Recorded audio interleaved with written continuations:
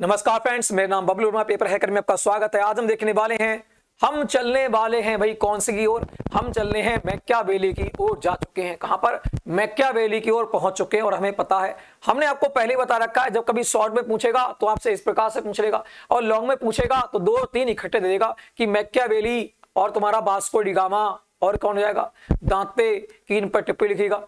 है ना? तो ऐसे भी दे सकता है। तो हमें अलग अलग पढ़ रहे हैं जो कि हमारा साथ में कवर सब कुछ होता रहे और आराम से छोटी छोटी वीडियो में हम अच्छी प्रकार से डिस्कस कर रहे और अच्छी प्रकार से हमें याद रह सके। चलो बढ़ते हैं आज के सेशन की ओर। आज हम देखेंगे किसके बारे में? आज हम देखेंगे मैक्या के बारे में। किसके बारे में? मैक्या के बारे में बात करेंगे। मैक्या कौन था? कहाँ का रहने वाला था? है ना? इस पर क्या लिखना है? टिप्पणी लिखना है।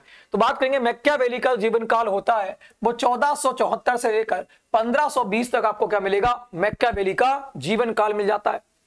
मैक्यावेली इटली का एक प्रसिद्ध राजनीतिज्ञ और विचारक एवं महान साहित्यकारक था। बात वही है है ना? मैक्यावेली इटली का रहने वाला था। कहाँ का? क्या मैक्यावेली है ना? आ, मैं क्या बेली होगा यहाँ पर बली लिखा है। मैक्या बेली की बात करते हैं? कौन? मैक्या बेली। ठीक है भाई? मैं क्या बोलू? ऐसे याद कर लो इसके लिए। मैं क्या बोलू? ये बंदा तो ईंट लेकर सामने खड़ा है। ठीक है ना? ये बंदा तो ईंट लेकर सामने खड़ा है, मैं क्या बोलूँ? कुछ बोलूँगा तो ये मार देगा मेरे। है तो ऐसे इसको याद कर लोगे कि मैक्यावेली कहाँ का रहने वाला है? इटली का रहने वाला है भी। ऐसे तो ट्रिक होती है याद करने की। और ऐसे ही याद करोगे तो आपको याद रहेंगी हमेशा के लिए। तो बात करेंगे मैक्यावेली कहाँ का आपको इटली का रहने वाला था। यह एक प्रसिद्ध राजनीतिज्ञ, इसकी राजनीति भी आती थी। मतलब ये बहुत ही माइंडेड था। राजनीति में भी इसका क्या था? बहुत अच्छी महारत हासिल थी। इस प्रकार से लिख सकते हो। बात करेंगे विचारक और महान साहित्यकारक था, और महान साहित्यकारक था, है ना? चलो अभी बात करेंगे, उसने दो ग्रंथ लिखे हैं, दोनों ग्रंथों को ध्यान रखना है। एक होता है द प्रिंस, कौन सा? द प्रिंस, जो राजनीति पर आधारित था, इसके बारे में डिस्कस करेंगे। एवं द्वितीय जो है, वो है द आर्ट ऑफ़ वार, कौन सा? The art of war. इसने दो लिखे हैं, दोनों के बारे में ध्यान रखना। एक तो द प्रिंस, और एक लिखा है the art of war. The prince नामक ग्रंथ में उसने अपने नवीन राजनीतिक आदर्शों के बारे में वर्णन किया है।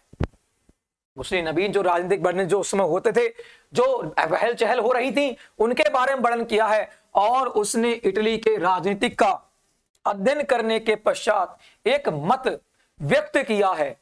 है ना? एक मत व्यक्त किया कि शासकों को शासकों को सुचारू रूप से शासन का संचालन करना चाहिए। ठीक है चलो, आगे बढ़ते हैं। यहाँ देखा जाए तो सुचारू रूप से शासन का संचालन करना चाहिए। उसने लिखा है, वह बहुत अच्छा होता, है ना? यह बहुत अच्छा होता ताकि लोग राजा से भी प्रेम करते, है ना? अगर तो कितना अच्छा होता कि लोग राजा से भी प्रेम करते। और उससे डरते भी, है ना? उससे डरते भी। तो बात कहते हैं, किंतु चूँकि ऐसा हो पाना कठिन है। इसलिए आवश्यक है कि लोग उससे डरें। अगर नहीं डरेंगे तो राजा के कहाँ चढ़ जाएँगे? सिर पर चढ़ जाएँगे, है ना? तो ये इन्होंने यहाँ पर लिखा है। यह बहुत अच्छा होता ना? यह बहुत अच्छा होता, ताकि लोग राजा से भी प्रेम करते और उससे डरते भी। किंतु चूँकि ऐसा होना, ऐसा हो पाना कैसा था? कठिन है। इसलिए आवश्यक है कि लोग उससे डरें। मैक्यावेली के विचारों ने राजनीतिक दुराचार को काफ़ी प्रभावित किया। कुछ विद्वान उसने, कुछ विद्वान उसके द प्रिंस नामक ग्रंथ को, है ना, जो मैक्यावेली का द प्रिंस नामक ग्रंथ है, जो राजनीति पर आधारित अभी हमने देखा था, नामक ग्रंथ जो कौटिल्य का अर्थशास्त्र देखने को मिलेगा, जो मौर्य के शासनकाल में, चंद्रगुप्त मौर्य के शासनकाल में प्रधानमंत्री हुआ करता था, कौटिल, अर्थशास्त्र, चाणक्य, उसकी बात हो रही है। बात करेंगे, यहाँ पर कह रहा है कौटिल्य के अर्थशास्त्र से तुलना करते हैं। किसकी? द प्रिंस, मैक्यावेली के ग्रंथ की। किससे? कौटिल्य के अर्थशास्त्र तो तुलना की जाती है। क्योंकि दोनों के दोनों कैसे हैं? दोनों के दोनों राजनीति पर ही आधारित बुके हैं। ठीक है भाई? बात करेंगे बेकन ने। बेकन ने क्या कहा है? बेकन ने मैक्यावेली के राजनीतिक सिद्धांत को प्रशंसा में यह लिखा है, हम मैक्यावेली के ऋणी हैं, जिसने नागरिकों के अधिकारों तथा कर्तव्यों का भी प्रकाश डाला है अपनी पुस्तक में। ठीक है भाई तो ये यहाँ पर देखने को मिलता है मैक्यावेली पर क्या लिखना है? टिप्पणी लिखोगे तो आप इस प्रकार से लिखोगे। ठीक है ना? छोटी टिप्पणी आपको देगा लिखने के लिए और एक पेज में आपको भरना पड़ेगी। ठीक है ना? वही डेढ़ सौ शब्दों में और डेढ़ शब्दों में आराम से आप इसको लिख दोगे। ठीक है ना? शॉर्ट क्वेश्चन बनेगा, लॉन्ग बनेगा तो भाई इसमें दो तीन इकट्ठे देगा, तब आपको लॉन्ग बना देगा। तो यहाँ पर हमने देखा द आर्ट ऑफ़ वार के बारे में और द प्रिंस के बारे में और चाणक्य की अर्थशास्त्र के बारे में और मैक्यावेली के बारे में देखा। मैक्यावेली कहाँ का था? इटली का रहने वाला था। मैं क्या बोलूँ? का सामने खड़ा है। ठीक है भाई? तो इस प्रकार से ये हमारे याद हो जाएगा।